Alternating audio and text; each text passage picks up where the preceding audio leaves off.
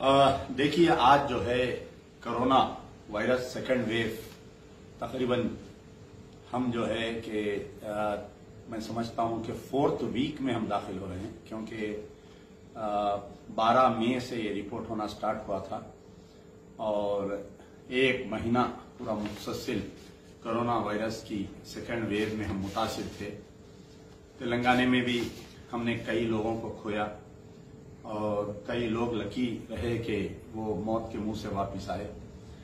तो आज मेरी ये दुआ है कि जो लोग जिनका इंतकाल हो गया है, अल्लाह ताला उन्हें जन्नत मगफरत करे, जन्नत अता करे। और जो लोग अभी बीमारी से लड़ रहे हैं, उनको अल्लाह ताला शिफा अता करे। आज आपके सामने आने का मकसद ये है कि मुसलसिल तीन दिन से। हैदराबाद, सैबराबाद, रचाकुंडा, निजामाबाद खास तौर पर। ऑटो वालों के बहुत टेलीफोन आ रहे हैं कि साहब, हम दस बज के पंद्रह मिनट में सवारी छोड़कर आ रहे थे। हमारा ऑटो सीज कर दिया गया। हैदराबाद की खास तौर पर ट्रैफ़िक पुलिस और आपके लॉ एंड ऑर्डर पुलिस ये कर रही है कि ऑटोस को जो है उनको रोक कर किसी मैदान में ले जाकर उनका ऑटो रख दे रहे हैं और इसको ले जाकर कहीं बिठा दे रहे दिन में 11 बजे गिरफ़्तार करके, रात में 8 बजे 9 बजे उसको छोड़ रहे हैं। हज़ार से पंद्रह सौ, दो हज़ार रुपए हर एक ऑटो वाले को चालान कर रहे हैं। सेम सैबराबाद में भी किया जा रहा है। बच्चा कुंडे के बहुत कम शिकायतें हैं। और आपके निजामाबाद के बहुत पूरे डिस्ट्रिक्ट से बहुत शिकायतें आ रही निजामाबाद से, खासतौर पर। हैदराबाद और निजामाबाद से। बहुत शिकायतें आ रही तो पहले तो मैं इन तमाम पुलिस के आला अहदेदारों से मैं गुजारिश करूँगा कि एक जो ऑटो वाला होता है, आप अंदाज़ा कीजिए, उन्हें अगर रोज कमाएँगा, उसका उसका घर चलेगा। यानी हर ऑटो वाले की फैमिली में कम से कम पाँच लोग रहते हैं। मिनिमम पाँच से दस लोग रहते हैं। और ये कमाने वाला रहता है। आप अंदाज़ा नहीं है कि उन पुलिस के आला अहदेदारों को। एक आईपीएस ऑफिसर को जो है दो से ढाई लाख रुपए तनख्वाह, चार गाड़ियाँ, पच्चीस नौकर मिलते उसको। मामूली सी लेवल का अगर कोई सब इंस्पेक्टर भी है तो उसकी तनख्वाह एक लाख रुपए है। आप काम करो या मत काम करो, आपके घर में तो तनख्वाह आ जाएगी, आपके घर में चूल्हा सिलक जाएगा। लेकिन आप थोड़ी देर के लिए सोचिए, उन जालिम पुलिस वालों के लिए ये मेरा बयान है। आँख बंद कर कर थोड़ी देर के लिए सोचिए कि वो मासूम, वो मजलूम, जो पिछले लॉकडाउन से आज की तारीख तक भूखा है। मोदी जी तो बहुत ऐलानात करके चले गए, केसीआर साहब भी बहुत ऐलानात करके चले गए। छह महीने लास्ट लॉकडाउन में गुजरा, उसको कुछ नहीं मिला। ये एक महीने से अचानक लॉकडाउन रमज़ान में उसका कमाने का महीना, उसको एक रुपया नहीं मिला। कर्जों में मुबतला। मासूम बच्चों की फ़ीस देना है। घर में बीमार, कहीं बीवी बीमार तो कहीं वालिदा बीमार, कहीं वालिद बीमार तो कहीं बच्चे बीमार, या तो कहीं वो खुद बीमार। दवाओं के लिए तड़प तड़प कर रहने वाली वो शख्सियत ऑटो ड्राइवर। कर्जदारों में कर्जे में कुप्पा, सूदखारों के जुल्म, फाइनेंसरों का जुल्म। छह बजे अगर वो घर से बाहर निकल रहा है, सुबह छह बजे तो कोई सवारी नहीं मिलती उसको। अगर उसको कोई एक सवारी मिली, वो सिकंदराबाद छोड़कर वापिस आ रहा है, पूरे दस दिन अगर वो काम करता है तो उसको हज़ार रुपए मिलते हैं। ये लॉकडाउन में जो छह बजे से दस बजे तक का सफ़र है। अब अगर डेली वो फ़र्ज़ करिए एक हज़ार रुपए कमा रहा है तो ऑटो का खर्चा किराया तीन सौ रुपए, पेट्रोल का पैसा जाने के बाद में रोज़ाना सिर्फ़ दो सौ या तीन सौ रुपए, यानी दस दिन में वो हज़ार, डेढ़ हज़ार रुपए कमाता और आपका जालिम खलम आपका जो जालिम खलम है ना, वो उसकी, उसके चूल्हे में जो चावल जल रहे हैं, उसके जो मासूम बच्चों की फ़ीस के लिए वो जो पैसे जमा कर रहा है, उसकी माँ के दवाओं के लिए वो जो पैसे जमा कर रहा है, अपनी बीमार बीवी के लिए, अपनी खांसी की दवा के लिए, उससे आप उसको महरूम करते हुए डेढ़ हज़ार से दो हज़ार का चालान दिया जा रहा है। कितने अफसोस की बात है कि हुकूमतें हमारे लिए होती हैं कि नौकरियाँ देने के लिए। ना तो इनको ऑटो लोन पर दिया जाता है। माइनॉरिटी फाइनेंस कारपोरेशन से नहीं, कोई बैंक से नहीं। अगर कोई हिंदू ऑटो वाला है तो उसको जो है S C S T corporation से नहीं दिया जाता है। लेकिन ये जालिम पुलिस वाले उसको चालान करके उसको खुदकशी के ऊपर मजबूर कर रहे हैं।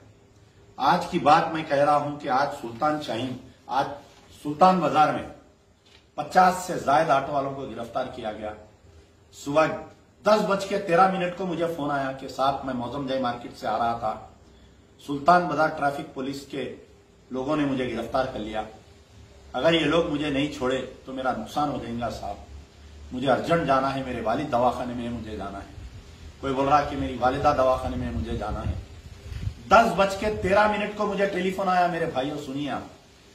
मैं जो है बारह लोग कहते हैं कि भाई आप हमेशा हुकूमत के खिलाफ बोलते हैं, जो भी हुकूमत है, या आप टीआरएस के खिलाफ में बोलते हैं। मुझे शख्सियत किसी से दुश्मनी नहीं है, लेकिन उसूलों की बुनियाद पर, गरीबों की आवाज़ उठाना मेरा काम मैं गाजी मिल्लत अलहाज मोहम्मद अमानुल्लाह खान का लड़का होने के हैसियत से कह रहा हूँ कि आज का जो मेरे पास ऑडियो रिकॉर्डिंग है, अगर मैं आपको डाला तो आपके आँख से आँसू निकल जाए ऑटो ड्राइवर सुसाइड करने की कोशिश करा। कमिश्नर ऑफ़ पुलिस, मैं आपको इस बात आपके इल में ला रहा हूँ कि सुल्तान बाज़ार का एक वीडियो है। आज ऑटो ड्राइवर सुसाइड करने के लिए मजबूर हो गया।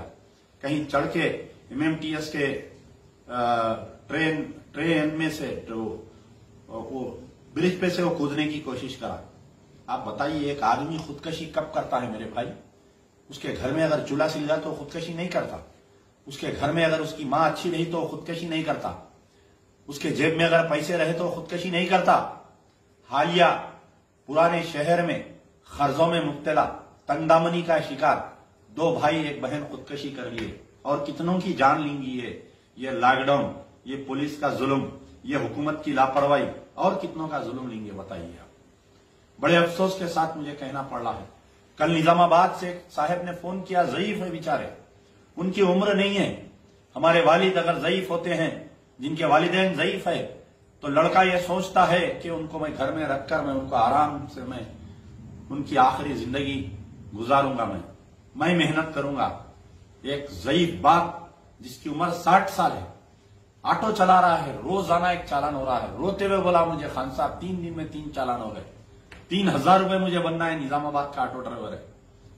तो मैं गुजारिश करूँगा कि हमारे आमिर शकील, बोधन एमएलए साहब, पूरे टीआरएस में आप एक ही मर्द हैं। पूरे टीआरएस में आपके एक ही के मुँह में जबान है, जो आप वक्फे वक्फे से इन मजलूमों की आवाज़ बनकर निकलते हैं। निजामाबाद पुलिस कमिश्नर से कल आप मिलिए, आपसे गुजारिश है। मेरे बड़े भाई है आप। इन ऑटो वालों से मिलिए जाकर, हालाँकि आपका एरिया नहीं आता, लेकिन Bodhan constituency cum under Nizamabad commissionerate Nizamabad के जो अखिलियत मुसलमान हैं, आपकी सूरत देखकर टीआरएस को ओढ़ दिए कल जाइए, गुजारिश है आपसे, आप जाइए जाकर निजामाबाद के कमिश्नर से मिलिए, मिलकर पूरे ऑटो वालों को बुलाइए कमिश्नर ऑफ़िस पे, जितनों को भी चालान हुआ है। चीफ मिनिस्टर से आपके अच्छे ताल्लुकात है, केटीआर से, कविता से अच्छे ताल्लुकात है। कम से कम एक मिसाल बनिए आप कि निजामाबाद डिस्ट्रिक्ट के जो सात एमएलए से, सात के सात टीआरएस के एमएलए से मेरे भाई, ये टीआरएस की हुकूमत, ये पूरे एक निजामाबाद डिस्ट्रिक्ट के आप पूरों के चालानात माफ़ कराइए आप। कोशिश करिए आप, कामयाब नहीं हो परवाह नहीं। हमें कोई गम नहीं है। लेकिन इंसान कोशिश करना बहुत ज़रूरी है और आपसे उम्मीद है। मुझे महमूद अली से उम्मीद नहीं है और कोई दूसरे अखिलियती कायदीन से मुझे उम्मीद नहीं है। कई एमएलसी है, कई चेयरमैन से, कई मेयर कई कारपोरेटर से मुझे किसी से उम्मीद नहीं है। मुझे आपसे उम्मीद है, सबका में भी मैंने जब भी आपको इतला दिया कई चीज़ों की, आप थोड़ी बर वक्त आकर उनकी मदद किए। इन निजामाबाद डिस्ट्रिक्ट के ऑटो वालों की, इन मजलूमों की आवाज़ बनिए आप। पूरों के चालाना माफ़ करवाइए। अगर माफ़ नहीं करवा सकते, कितने पैसे हो रहे क्राउड फंडिंग करिए। आप अपील करिए, कोई एक बैंक का अकाउंट नंबर डालिए किसी का, एक सोसाइटी वाले का। लोग पैसे देंगे, पूरों के चालाना बन के पूरों को आप बाइज्जत कराइए। अरे उसकी फ़ीस देने का है उसके बच्चों की। साल तमाम में एग्ज़ाम दिया उसका बच्चा रिज़ल्ट रोक दिए। जे दस दस हज़ार बीस बीस हज़ार, इंटर की फ़ीस एसएससी की फ़ीस, बच्चों का एडमिशन कराना है, कहाँ से पढ़ेंगी? हमारी कौम कहाँ पर पढ़ेंगी, बताइए, अगर ये पुलिस के चालाना जारी रहेंगे तो। हैदराबाद पुलिस कमिश्नर का भी थोड़ी देर पहले एक ऑडियो आया। जैसा हमारे मोदी साहब मन की बात करते हैं, हमारे कमिश्नर ऑफ़ पुलिस भी वक्फे वक्फे से अंजनी कुमार साहब मन की बात करते हैं। बहुत अच्छी बात है। एक पुलिस ऑफिसर होने के नाते अवाम से राबेदे में रहना चाहिए। काम हो या ना हो लेकिन अवामी राबेदा कायम रखना चाहिए। बड़ी अच्छी बात है, मैं तारीफ़ करता हूँ आपकी। लेकिन कमिश्नर साहब, आपके ऑडियो में सुनकर बड़ी तकलीफ़ हुई कि आप बयान कर रहे थे कि हमने इतने चालानात किए। टोटल केसेस बुक, एक दिन में सात हज़ार केसेस बुक किए गए। नो मास्क 2500 केसेस बुक किए गए। सोशल डिस्टेंस मेंटेन नहीं करने के लिए 380 केसेस बुक किए गए। और पब्लिक गैदरिंग के लिए 110 केसेस, नाइट में कर्फ्यू वायलेशन के लिए 4000 केसेस। क्या ज़बरदस्त काम किया। वाकई आप पुलिस कमिश्नर है। मैंने पूरा वीडियो सुना मोहतरम कमिश्नर साहब। दो रोज खबल जो शादी हुई थी कामाटी पूरा पुलिस स्टेशन लिमिट्स में कितने चालानात किए आप? आप बताइए, आप एक ज्ञानतदार ऑफिसर है आप। आप अपने ज़मीन पर हाथ रखकर पूछिए कि कामाटीपुरे में जो वायलेशन हुआ लॉकडाउन का। आज एक और एक वीडियो आया, जो पुलिस ऑफिसर जो लड़के के वालिद थे, राजीव त्रिवेदी साहब का एक किसी अखबार में बयान आया कि 40 लोग से बढ़ नहीं थे, मेरी वालिदा भी नहीं गई उस शादी में। जो बारात आई, वो बारात में कम से कम 100 से 150 तो पुलिस वाले दिख रहे हैं उसके अंदर, बारात में। नाच गाना चल रहा है, पटाखे फूट रहे हैं। तो मैं मन की बात करने वाले कमिश्नर ऑफ़ पुलिस से मैं सवाल कर रहा हूँ। मैं नहीं, ये अमजदुल्ला खान का सवाल नहीं है। आप एक काम करिए, आपका जिन जिन पेजों पर ये ऑडियो आया है, चाहे वो अब्बू मेल का पेज हो, चाहे वो हामिद रिपोर्टर का पेज हो, चाहे वो किसी का भी हो, साढ़े तीन सौ अगर कमेंट है तो तीन सौ लोग आपसे सवाल कर रहे हैं कमिश्नर ऑफ़ पुलिस। आपसे सवाल कर रहे हैं कि आया, आपने वो शादी में क्या एक्शन लिया? मुझे मालूम है आप मजबूर है, आप नहीं ले सकते। मुझे मालूम है आपके ऊपर हुकूमत का दबाव है। मुझे मालूम है कि आपका सीनियर ऑफिसर है वो। आप नहीं कर सकते, मुझे मालूम है। लेकिन फिर भी मुझे आपसे उम्मीद है कि सबका में कमिश्नर ऑफ़ पुलिस पवित्रन साहब गुजरे थे। मेरा बचपना था। मुझे अच्छा याद है, मेरे वालिद जब एमएलए थे तो एक पवित्रन नामी एक कमिश्नर ऑफ़ पुलिस थे कि एक मशहूर रौडी कुत्ता दास गौड़ एक कोई मशहूर रोड़ी था उस दौर में। और कई रोड़ियों को परेड करवाए थे, हाथ में हथकड़ी डालकर, पैर में बेड़िया डालकर पूरों को संतोष सपना थिएटर के सामने। गल्ला लूटने के ऊपर कुछ केस था उनके ऊपर, कोई पेट्रोल पंप लूटने पर था। तो रोड पर बेइज्जत करे थे लाकर उनको। उस दौर का मशहूर लीडर था वो। लेकिन कानून के सामने कोई बाला तैर नहीं। Law is equal to every one commissioner of police, मुझे अभी भी उम्मीद है आपसे। आप मन की बात में जो है, उस शादी के बारे में कहेंगे आप। Director general of police Mahendra Reddy से कल सवाल किया गया कि साहब, वो दुबे साहब की शादी में जो वायलेशन हुआ है, फौरी भाग गए, रफू चक्कर हो गए, भाग गए, निकल गए प्रेस वालों से। काबिल मुबारकबाद है जो प्रेस वालों ने सवाल किया उनसे। काबिल मुबारकबाद है, सलाम करता हूँ उन साफियों को। अमजदुल्ला खान सलाम करता है उन साफियों को। जिन्होंने सवाल किया, इकतदार के सामने झुके नहीं, डायरेक्टर जनरल ऑफ़ पुलिस से डरे नहीं, कमिश्नर ऑफ़ पुलिस से डरे नहीं, सवाल किए। सवाल करना सीखो। सवाल करना ही सबसे बड़ी चीज़ है। मिले या ना मिले आंसर। मैं सलाम करता हूँ दोबारा। लेकिन फिर भी उम्मीद है लॉ एंड ऑर्डर पर मुझे उम्मीद है, कमिश्नर ऑफ़ पुलिस पर उम्मीद है कि कम से कम कल तक या परसों तक आप उस दुबे के फ़ंक्शन के ऊपर कुछ बोलेंगे आप। आपका जो व्हाइट कॉलर है, तीन साल से आप कमिश्नर ऑफ़ पुलिस है, कोई आपके कॉलर पर धब्बा नहीं लगा सकता। लेकिन ये दुबे की शादी में इनएक्शन ऑफ़ दम हैदराबाद पुलिस आपके ऊपर एक धब्बा है। कल आप चले जाएँगे, परसों आप रिटायर हो जाएँगे। लेकिन याद रखा जाएगा कि फलाने टाइम पर कमिश्नर ऑफ़ पुलिस थे, लेकिन एक्शन नहीं लिया गया। तो मुझे उम्मीद है, मुझे आपकी फ़िक्र है मुझे, कि आपके ऊपर कोई आँच ना आए, आपके ऊपर कोई उंगली ना उठाए। लिहाजा राजीव त्रिवेदी के बेटे की शादी के अंदर जो वायलेशन हुआ लॉकडाउन वायलेशन बोलिए, पटाखे फोड़ने की बात करिए बैंड बाजा बराती ऑर्केस्ट्रा की बात करिए, लेकिन एक्शन लीजिए। खुदारा एक्शन लीजिए उस पर। अमजदुल्ला खान खामोश नहीं बैठेगा, दूसरे लोग खामोश बैठ जाएँगे।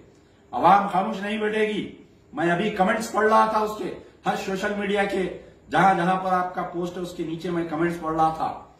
380 कमेंट्स में 350 लोग सवाल कर रहे हैं। कि आपने क्यों एक्शन नहीं लिया इंटेलिजेंस डिपार्टमेंट को पूरे कमेंट्स की कॉपीज भेजा हूँ मैं। आईजी इंटेलिजेंस को, के चीफ मिनिस्टर को बताओ। के टी रामाराव को बताओ और एक्शन लो उनके ऊपर। ये मेरा मुतालबा है। दूसरी गुजारिश फिर से दोबारा। ये हमारे पुलिस वाले जो है, इन ऑटो वालों के कुर्बानियों को नहीं जानते। केसीआर साहब जानते हैं इनके कुर्बानियों को। मुझे अच्छा याद है कि जब केसीआर साहब सकुना जनुला समय जो ऐलान किए थे, पता नहीं। Non cooperation movement with the government of Andhra Pradesh जब आंध्र प्रदेश था, तेलंगाना मूवमेंट चल रहा था तो ये गरीब ऑटो वाले थे, अपने जेब का पेट्रोल डालकर केसीआर के हर प्रोग्राम को कामयाब कर रहे थे। ये वही गरीब ऑटो वाला था, जब एलबी नगर में केसीआर साहब मीटिंग लगाए थे। ऑटो यूनियन लीडर अमानुल्लाह मरहूम मर गए। अल्लाह उनको जन्नत नसीब करे। दस हज़ार ऑटो की रैली निकाले और कोई ऑटो वाला एक रुपया नहीं लिया। अपने जेब के पैसे डालकर केसीआर के जलसों को कामयाब किए, रैली को कामयाब किए। निज़ाम कॉलेज ग्राउंड में जमात इस्लामी की तरफ़ से जब मीटिंग का ऐलान किया गया, एक अफवाह खड़ा किया गया था कि मुसलमान तेलंगाना के साथ नहीं है। जो भी तेलंगाना की सपोर्ट करेगा, वो काफिर कह दिए थे। यही मजलिस इत्तेहाद मुस्लिमीन के कायदीन उस वक्त की जमात इस्लामी की क्यादत उठ खड़ी हुई। और एक बड़ा जलसा लगाए। निज़ाम कॉलेज ग्राउंड में कम से कम पचास हज़ार लोग थे, दस हज़ार ऑटो वाले थे मेरे भाई। मेरे को मालूम है ऑटो वालों की खिदमत। निजामाबाद में जब रैलीस निकलते थे, जय तेलंगाना के नाम पर सबसे पेश पेश यही ऑटो वाले रहते थे। आज उनकी कुर्बानियों को मत भूलो। आज उनकी मजबूरी का फ़ायदा मत उठाओ। खुदारा मेरी अपील है आप लोगों से, पूरे पुलिस वालों से। पूरे आईपीएस ऑफिसरों से। चीफ मिनिस्टर साहब, ज़रूर ये मेरा वीडियो आप तक मैं पहुंचाऊँगा। किसी भी हालत से पहुंचाऊँगा, लेकिन पहुंचाऊँगा। केटीआर साहब, आप तक भी ये वीडियो पहुंचेगा। मत भूलो इन ऑटो वालों की कुर्बानियों को। जब मेट्रो ट्रेन के ऊपर एहतजाज चल रहा था सुल्तान बाज़ार में, केसीआर साहब आए थे, पुलिस वाले आने नहीं दे रहे थे। जब केसीआर को गिरफ़्तार करने की कोशिश की गई तो पुलिस और केसीआर के दरमियान अगर कोई थे तो ऑटो वाले रोड पर लेट गए थे। उनकी कुर्बानियों को मत भूलो मेरे भाई। क्यों? ये तेलंगाना क्या वो ऑटो वाले इसलिए लड़कर लाए कि आज हज़ार हज़ार, डेढ़ डेढ़ हज़ार, दो दो हज़ार का चालान बने? क्या ये ऑटो वाले जय तेलंगाना, केसीआर के मूवमेंट में इसलिए हिस्सा लिए कि आज उनके घर में चूल्हा और उनके घर में हंडिया सूखे हो जाए? क्या इसलिए लाए थे कि तेलंगाना आने के बाद में मैं सुसाइड करूँगा, इसलिए लाए थे? खुदारा उन मजलूमों की आह मत लियो उनकी दिल की अगर बदवा लगेगी तो न केसीआर की हुकूमत रहेगी, न कमिश्नर ऑफ़ पुलिस, न कोई आईपीएस, ना कोई आईएएस ऑफिसर अपनी सीट पर बरकरार रहेगा। इन चंद अल्फाज से मैंने आपके सामने ये बातें रखी। बहुत तकलीफ़ हुई आज ऑटो वालों के किस्से सुनकर। सुबह से तीन दिन से कोई फ़ोन नहीं सिर्फ़ ऑटो वालों का फ़ोन कि साहब मुझे गिरफ़्तार कर लिए। साहब मेरे को पंद्रह सौ का चालान साहब मुझे दो हज़ार का चालान। अरे ये तेलंगाना के तेलंगाना बिड्डा असली तेलंगाना बिड्डा ये ऑटो वाले है। पुलिस के लाठियाँ खाए। उस्मानिया यूनिवर्सिटी में जब एहतजाज हो रहा था आ, पुलिस वाले ने उस वक्त के कोई डीसीपी थे मुझे याद नहीं आ रहा है। कुत्तों को मारे ऐसा मारे ऑटो ड्राइवर्स को। कुत्तों को मारे ऐसा मार खाए लोग। लेकिन आज उनको चालान करके क्या बतलाना चाह रही है पुलिस? निजामाबाद में बहुत जुल्म हो रहा है मेरे भाई। आमिर शकील साहब आपसे फिर उम्मीद है कि कल 24 घंटे के अंदर जाइए कमिश्नर, आप पुलिस से मिलिए, कि इन मासूम मजलूमों की आवाज़ बनिए। इनकी आवाज़ बनिए, अगर हुकूमत पैसे माफ़ नहीं कर रही है तो छोड़ दीजिए आप। क्राउड फंडिंग करिए, खाली निजामबाद की हद तक करिए। सात एम एमएलए है वहाँ पर निजामाबाद के। उन ऑटो वालों के चालानात बनिए आप। आप जो है, इन मजलूमों की आवाज़ बनिए। कल हो सकता है कि टीआरएस आपको टिकट दे या ना दे। आप अपना फ्यूचर इन गरीबों के साथ रखिए, ताकि आपको दोबारा ये लोग याद रखेंगे। मैं फिर से उम्मीद करता हूँ उन पुलिस के आला अहदेदारों से कि ऑटो वालों के साथ, इन मजलूमों के साथ जुल्म बंद करो मेरे भाई। वास्ते अल्लाह के इनके ऊपर जुल्म बंद करो यमजदुल्ला खान तड़प कर तुम्हारे से गुजारिश कर रहा है कि सिया साहब, केटीआर साहब, इनकी कुर्बानियों को मत भूलो। यार ज़िंदा, सोबत बख्त